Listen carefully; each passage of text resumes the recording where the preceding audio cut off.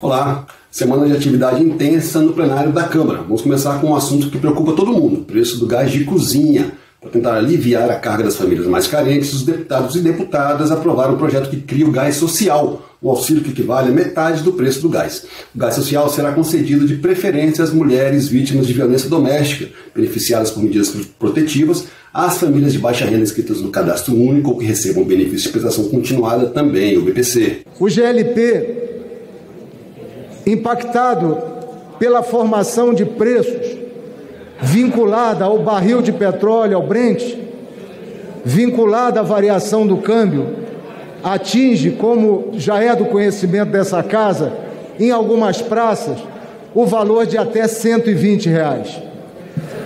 O que é um valor insuportável para as famílias de um modo geral, mais especificamente para as famílias que compõem o CAD único e ainda mais especificamente para um corte de famílias na extrema pobreza.